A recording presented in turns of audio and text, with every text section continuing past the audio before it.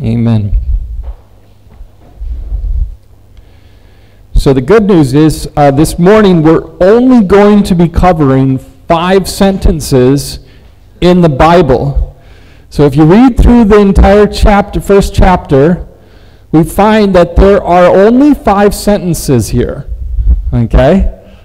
But Paul, being a very eloquent speaker, being a very eloquent writer, has some very long sentences, some of them being five, six verses onwards. So, only five sentences this morning. So, we should be done pretty quick, right?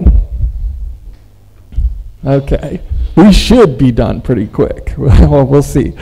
Okay, so um, uh, hopefully we get through all of them. We'll, we'll see what happens. So, we, we see here um, Paul is writing to those uh, believers, the, that church at Ephesus. He says, to the saints, so he's writing to the saints which are at Ephesus, and to the faithful in Christ Jesus. Well, the faithful in Christ Jesus, that would be believers everywhere who are um, faithful in Christ Jesus. That means they're, they're serving within Christ's new covenant, within his body. Okay, they're members of churches. Okay, so what, what are saints? We talked about this last time when we were going through the book of Hebrews. What, are, what is a saint? Anyone? Yes, a living believer. And it specifically means someone who is set apart for holy use, for a holy purpose. Okay? Consecrated to the Lord. So the, the, word is, is uh, the word ha, hagio.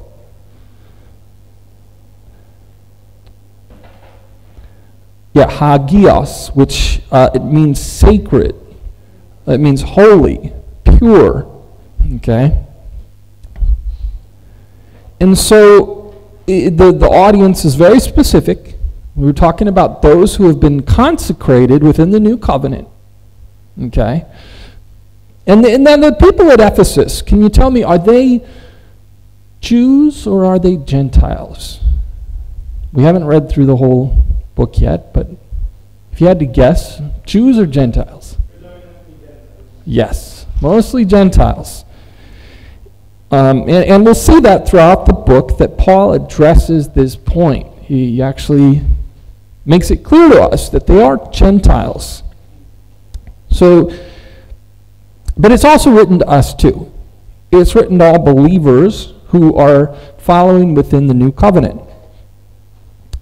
So we see here it says, Paul, an apostle of Christ, of Jesus Christ, by the will of God, to the saints which are at Ephesus, and to the faithful in Christ Jesus, grace be to you and peace from God our Father and from the Lord Jesus Christ. Going on, so that's the first sentence. We've got sentence one out of the way.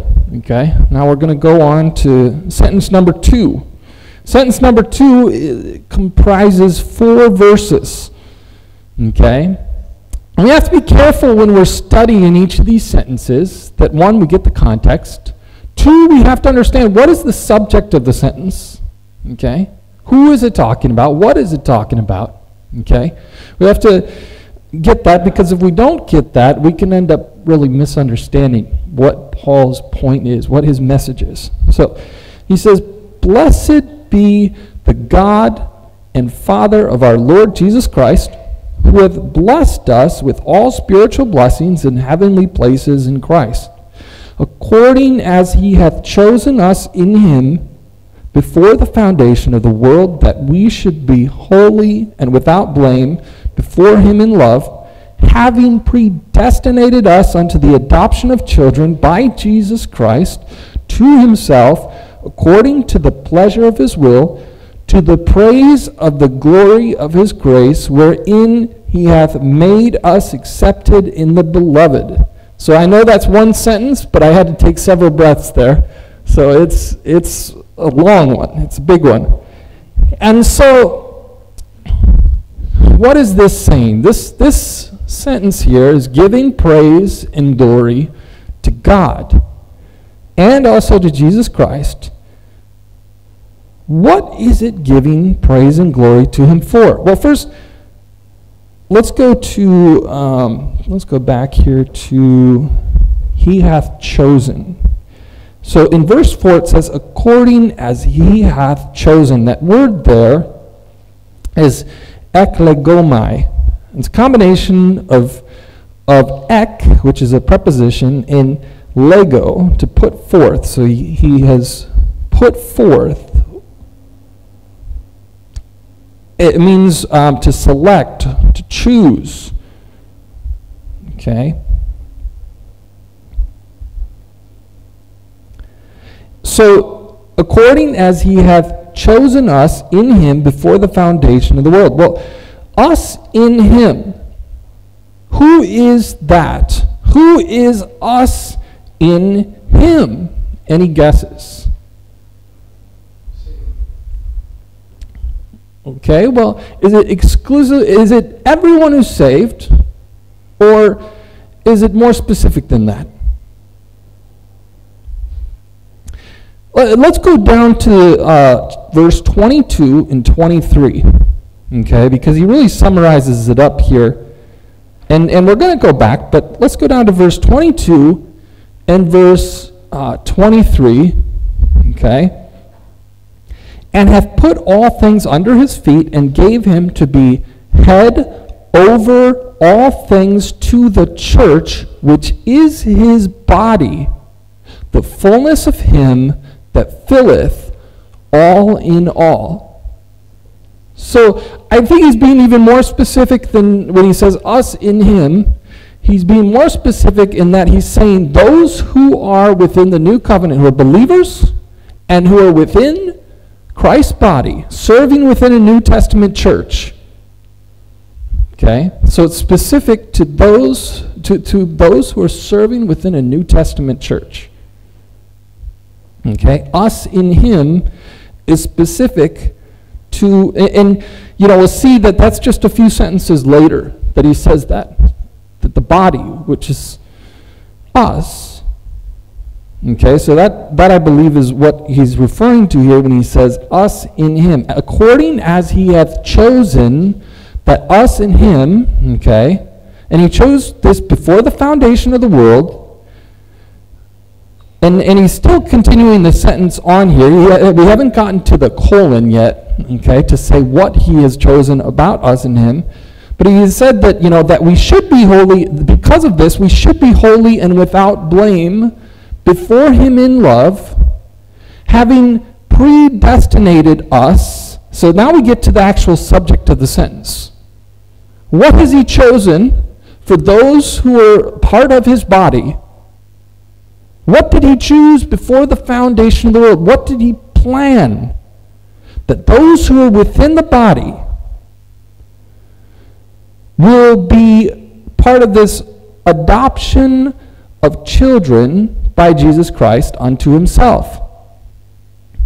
Okay, it says, to the adoption, having predestinated us unto the, that comes right after the colon. So this is the, the main crux of the of what he has done, why we are giving him praise, is because God planned before the foundation of the world that he had a plan that us in him would be unto the adoption of children. Okay, and the word there, adoption of children, it's actually a conjugation of two words. It's uh, huiothesia. Huiothesia. That word hoio, uh, it is actually the word huios, huios. And this is, there, there's many times that we read through the scriptures and we'll see different times where it mentions children or son, um, and there's different words that are used. Okay? But this one, huios, when we went through the book of Hebrews, every single time this word was used, this usually gets translated as son or sons. The reason why it gets translated is that because it was a legal term that was used to say, to speak about the lineage and to speak about uh, the son that would inherit. So it always had to do with inheritance and lineage. So it usually had to do with the son, usually the oldest son, but, or the, the sons that would inherit the things from the father.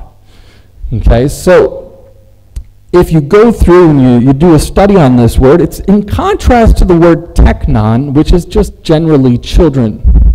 Okay?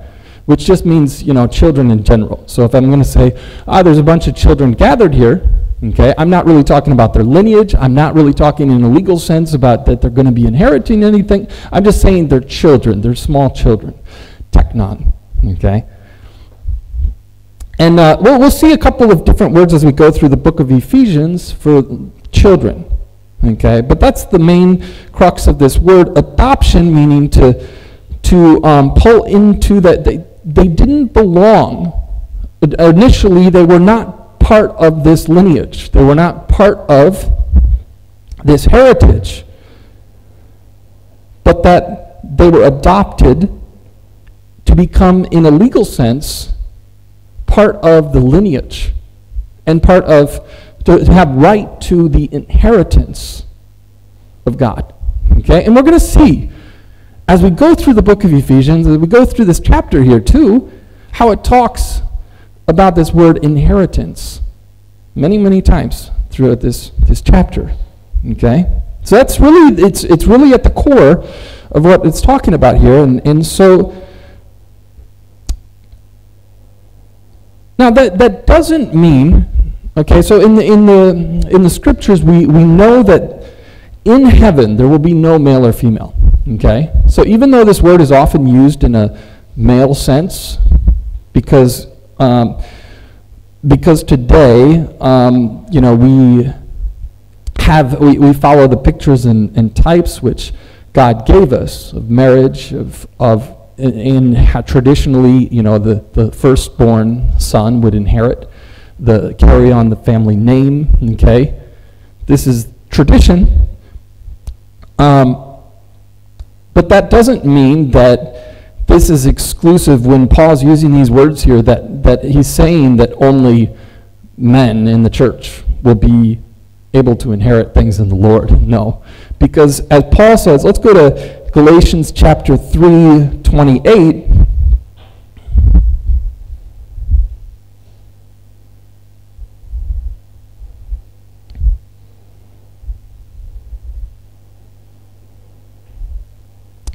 There is neither Jew nor Greek. There is neither bond nor free. There is neither male nor female, for ye are all one in Christ Jesus. And so that inheritance is does not matter about gender. Okay, because when we get to heaven, as Jesus also said, there is no male or female in heaven. Okay? So we're all going to be, in that sense, sons, huios, so, but that doesn't mean that in this flesh that we relinquish these types and pictures God gave us with marriage and the family. The, these had a very important role because they, because they convey eternal truths about Jesus Christ and His church. And we're also going to see that in Ephesians chapter 5, how those things were pictures and types of Jesus Christ and His New Testament church. So, you know, that doesn't mean that we should necessarily, in the flesh here, throw out the gender roles that God has given us because they are still important. They still help to convey to the world God's truths. They still help us to, to remind us, to remind our children about God's truths. And that's why it's important that we, you know, follow God's plan for marriage and the family, etc. So, and then continuing on to verse 6, it says, And glory to Jesus because he hath made it. So the, the focus of verse 6 is talking about to the praise of the glory of his grace, wherein he hath made us accepted in the beloved. And I believe that, that he there is Jesus, but you could apply it to either the Father or to Jesus, okay? Um, because they're one and the same. So Paul doesn't, he doesn't get too too particular there on clarifying which one he is referring to because they are one and the same. But what is the point of these four verses? We know it's to give praise to God and the Father, to God the Father, and to his Son, Jesus, but praise for what? So we have two options here.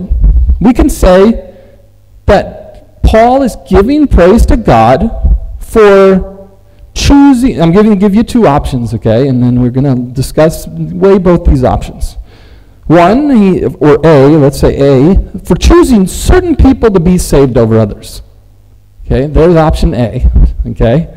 Or option B, for God making this plan before time began an opportunity for all mankind to who has come to him, repented and believed, to be able to receive these spiritual blessings in the heavens that is an eternal e- inheritance, a pathway for us to be entitled to this inheritance, and also glory to Jesus for acting out God's new covenant plan.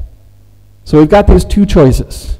Either we're just going to say it's, oh, you know what, we're going to put a period after, let's put a period after, um, where is it? According as he hath chosen us in him before the foundation of the world. Let's put a period there. And then we get option A. If we put a period there, we get option A. Right? But there's not a period there. There's a comma. And the sentence goes on for several more verses. And if we don't read the rest of that sentence, we're really going to be confused on what exactly Paul is talking about here. So I, will give you a few things, a few reasons why I am certain it is not option A. Why I'm certain it is option B. The focus of these verses are not about salvation.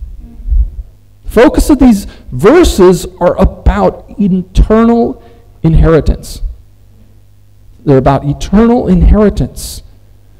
The second thing I would bring up is why does it say in verse 4, why does it say that we should be? Why does it not say will be or must be? Okay, without even looking, continuing on to the rest of the, the verses here, it says that we should be holy and without blame before him in love. It's like if I said, you know, okay, my, my daughter Alicia, you should follow what your parents say. When I say that, that doesn't mean that she will. It doesn't mean that, you know, that, that it is going, no, it should happen. I want it to happen. It's my desire that that happen. But it doesn't mean that that's necessarily going to be the case. She still has a choice in the matter. So we should be holy and without blame before Him in love. Okay? Having, and then continuing on there, having predestinated before time, having predestinated those who are within His body, within the church, to be uh, unto the adoption of children, being put within that lineage, whether they're Jew or Gentile by Jesus Christ to himself according to the pleasure of his will, to the praise of the glory of his grace. So, so what I see here, though, is that God the Father made this plan before time began. He made this plan of the new covenant, the New Testament church. This plan in which, you know, he, Paul calls it a mystery that was not revealed before, that we, mankind, would be able to inherit all things with Jesus Christ. Okay? And that Jesus Christ enacted this plan. Jesus Christ is the one who came and uh, gave his life. Oh, God, God the Son came in the flesh to give his life for us. Okay? So we're going to see a lot of parallels between the book of Hebrews and the book of Ephesians as we go through. But Ephesians, fortunately for us, isn't going to have a bunch of references to the Old Testament because Hebrews was for the Hebrews, right? But you know that's all good. That's all good because it's it all gives it gives us that context. But now that we go through, this is actually a book written to the Gentiles. Now, moving on to, to, do we have any questions about verse 3 through 6 before we continue onward? Do you see how that is, how that is describing about God's plan before giving praise to God for his plan before the foundation of the world. And how we're part of that plan. Okay? But that doesn't mean that that we have to be part of that plan. It doesn't mean that um, so again, this isn't about salvation.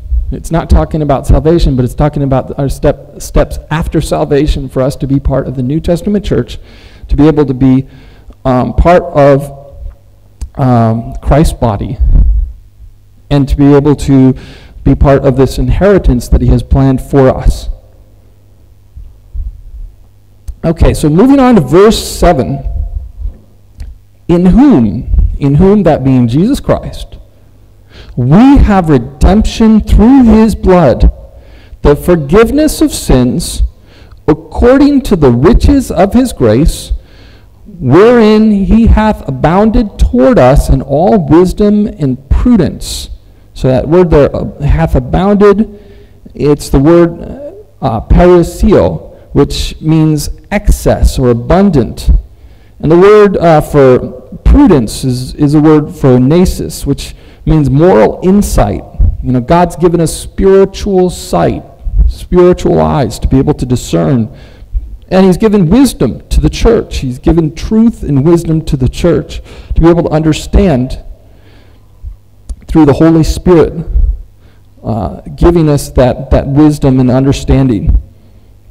Having made known unto us the mystery of His will according to his good pleasure, which he hath purposed in himself, that in the dispensation of the fullness of times he might gather together in one all things in Christ, both which are in heaven and in which are in earth, even in him, in whom also we have obtained. So we've got another, uh, we got a semicolon there. It's not, I'm sorry, a colon there, even in him, colon Okay, so now after the colon, we get to the, the root of the, the matter, in whom also we have obtained an inheritance, being predestinated according to the purpose of him, this inheritance being predestinated, according to the purpose of him who worketh all things after the counsel of his own will.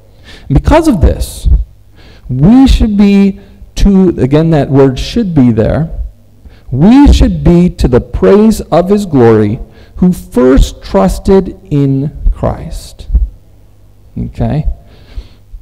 So, yeah, we see there that what was predestinated, what was predestinated is that those who are within the church, who are within churches, who are following in that new covenant, we will, uh, we have obtained an inheritance Okay? The word for have obtained is klerou, which means to allot, to set apart, an inheritance, to assign.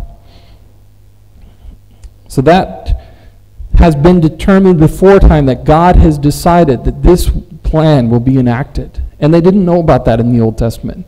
They didn't know about that before Jesus Christ came and preached the good news, preached the gospel, uh, the good news about this, this new covenant that both Gentile and Jew would be able to be a part of and serve God together in. Now, who, who are these people that, that are being talked about who first trusted in Christ? Who, who could Paul be referring to when he says that? That we should be to the praise of his glory who first trusted in Christ. Who are those people? So to, to get a good, good understanding, a uh, more full understanding of who those people are and who the Ephesians are, let's go back to Acts chapter 18. We're going to read through and study uh, what happened at Ephesus. Who is this group that Paul is writing to? So we can understand a little bit more in depth what um, Paul is talking about. So Acts chapter 18, let's start at verse 19.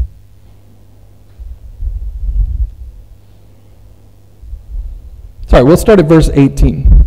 18, 18. And Paul, after this, tarried there yet a good while, and then took his leave of the brethren, and sailed thence into Syria, And with him Priscilla and Aquila, having shorn his head in Cenchreae, for he had a vow. And he came to Ephesus and left them there, but he himself entered into the synagogue and reasoned with the Jews. When they desired him to tarry longer time with them, he consented not. So we've got Paul now at Ephesus, and Priscilla and Aquila came with him, saying, uh, so, but bade them farewell, saying, I must by all means keep this feast that cometh in Jerusalem, but I will return again unto you, if God will. And he sailed from Ephesus, and when he landed at Caesarea, and gone up and saluted the church, he went down to Antioch. And after the, he had spent some time there, he departed and went over all the country of Galatia and Phrygia in order to strengthen all the disciples. And a certain Jew named Apollos, born at Alexandria, an eloquent man and mighty in the scriptures, came to Ephesus. This man was instructed in the way of the Lord and being fervent in the Spirit, he spake and taught diligently the things of the Lord, knowing only the baptism of John. And he began to speak boldly in the synagogue, whom, when Aquila and Priscilla had heard, they took him unto them and expounded unto him the way of God more perfectly. And when he was disposed to pass into Achaia, the brethren wrote, exhorting the disciples to receive him, who, when he was come, helped them much which had believed through grace. For he mightily convinced the Jews that public and that publicly, showing by the scriptures that Jesus was Christ. And it came to pass that while Apollos was at Corinth, Paul, having passed through the upper coast, yeah, moving on to chapter 19, having passed through the upper coast, came to Ephesus and finding certain disciples. So now Paul's come back to Ephesus and he's, he's um, finding these disciples that, you know, before Paul had laid the seed and then Apollos came and then Apollos helped to bring in the harvest, so to speak. And then, so these people have believed on Jesus Christ. They've been baptized under John, uh, they, they only knew about John the Baptist. They didn't know Jesus Christ had come yet because Apollos didn't know that. Okay? But they, John had said, you know, the kingdom of God is here, it's coming, it's, it's at hand. So he said unto them, Have ye received the Holy Ghost since ye believed? And they said unto him, Paul is talking to the, uh, the disciples at Ephesus. And they said unto him, We have not so much as heard whether there be any Holy Ghost. And he said unto them, Unto what then were ye baptized? And they said, Unto John's baptism. Then said Paul, John verily baptized with the baptism of repentance, saying unto the people that they should believe on him which should come after him, that is, on, Jesus, on Christ Jesus. When they heard this, they were baptized in the name of the Lord Jesus. And when Paul laid his hands upon them, the Holy Ghost came on them, and they spake with tongues and prophesied. And all the men were about twelve. And he went into the synagogue and spake boldly for the space of three months, disputing and persuading. Oh, you know what? We will. Okay, we'll go on to verse 12. And he went into the synagogue and spake boldly for the space of three months, disputing and persuading the things concerning the kingdom of God. But when divers were hardened and believed not, but spake evil of that way before the multitude, he departed from them and separated the disciples, disputing daily in the school of one Tyrannus. And this continued by the space of two years, so that all they which dwelt in Asia heard the word of the Lord Jesus both Jews and Greeks. And God wrought special miracles by the hands of Paul, so that from his body were brought unto the sick handkerchiefs or aprons, and the diseases departed from them, and the evil spirits went out from them. Okay, so we've got the, the context here of who these Ephesians are. And we see that they're, yeah, like Pastor said, they're a mix of Jews and Gentiles who are believers. And they've been baptized by Paul, and the Holy Spirit came down on them after that. And so we move on to verse 13 through 14. So we, we're going to see some references to that incident, okay, which is why I wanted to read back in Acts. In whom ye also trusted, after that ye heard the word of truth. Sorry, verse 13. Okay.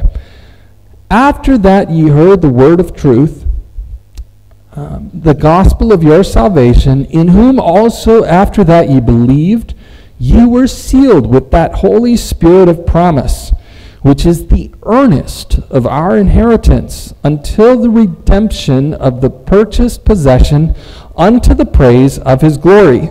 Now we get, we're already on, on uh, the fourth sentence, okay? That's the fourth sentence.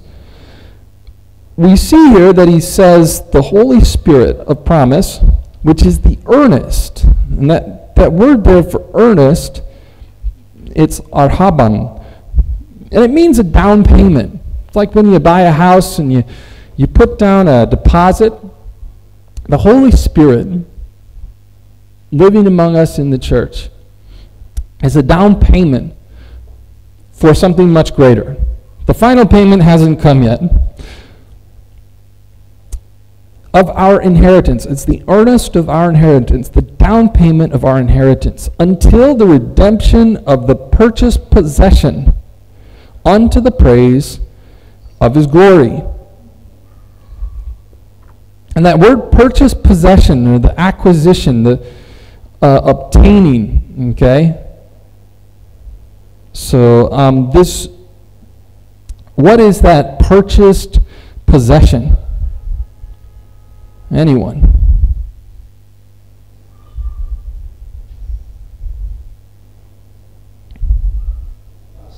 Us, yes.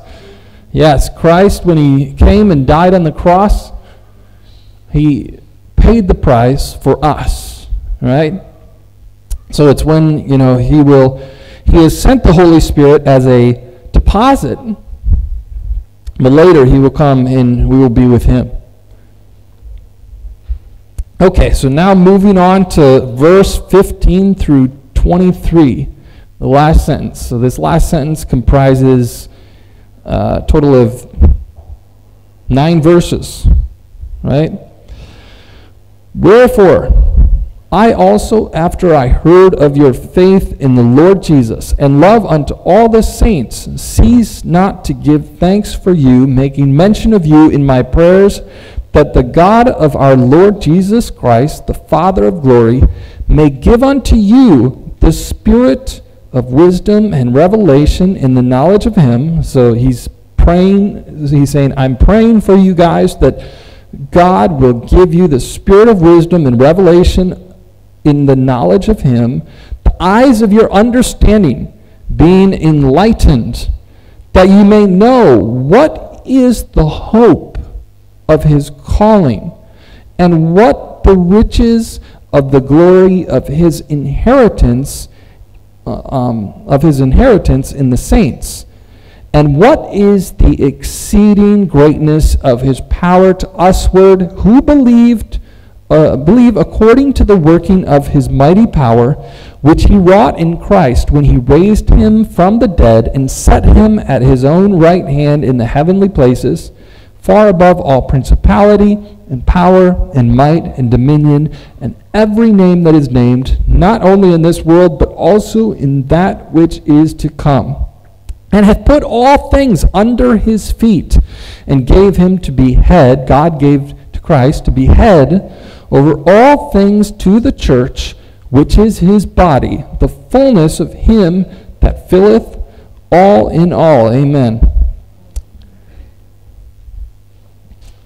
So Paul's saying here, you know, the, the verses before, you know, we see leading up to this, he's giving glory to, to God, he's giving the glory to Jesus Christ. And he's saying, you know, and, and you guys have followed in the Lord, in verse 13 through 14, in whom you also trusted after that ye heard the word of truth, the gospel of your salvation. You were sealed by the Holy Spirit of promise. Okay? And now he he says, you know, and I've prayed for you guys. I've been praying for you that you can understand fully, you can understand fully what this calling is all about. What is the hope of this calling? Okay, what do we hope for? What is yet to come? Okay, because we're going to see through the book of Ephesus that he gives a lot of things to the, the Ephesians to say, you know, th- this is how we can live expediently, and this is how we can um, keep this, you know, this, this new covenant. This is how we can keep the New Testament church. He talks and, uh, and gives them a lot of instructions later on. But he wants them to understand what is the end game, what is the goal here, what is the hope of his calling, and what the riches of the glory of his inheritance in the saints. What is the exceeding greatness of his power to usward who believe according to the working of his mighty power? So, this is kind of a summary here. I'm praying that, that God helps to reveal to you what these things are. And then, as we go through the book of Ephesians, Paul is going to lay out these things to help us understand, to help them understand, and us understand what these things are.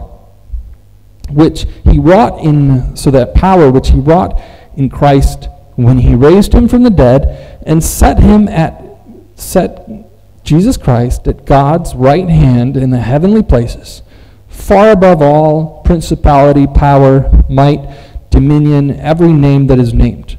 So God is, Jesus Christ is in ultimate authority. He is the king of the kingdom of God. And hath put all things under his feet, and gave him to be head over all things in the church, which is his body, the fullness of him that filleth all in all. So we can see how this all is interconnected in this chapter here. How it's all interconnected, what Paul is saying.